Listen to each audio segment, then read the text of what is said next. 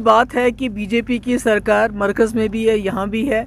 किस तरह से जो कश्मीरी पंडित एक तो छः महीने से वो जम्मू में दरबदर हो रहे हैं, उनके बारे में कोई फैसला नहीं हो रहा है। उनको कहा जाता है कि आप ड्यूटी पे दोबारा रिपोर्ट कीजिए और दूसरी तरफ़ से उनकी जो डिटेल्स हैं, जो किसी को मालूम नहीं होता है तो वो कैसे सरकारी दफ्तरों से लीक हो गई है?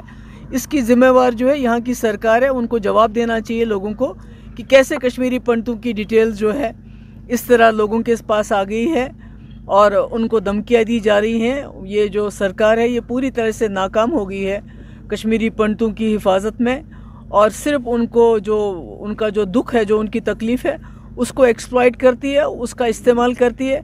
बाकी कश्मीरी पंडितों के बारे में ये बिल्कुल संजीदा नहीं है। मैम ये आप तो सरकार को मालूम होगा कि क्लियरेंस मिली है नहीं मिली है। मुझे तो इसके बारे में कुछ भी मालूम नहीं है।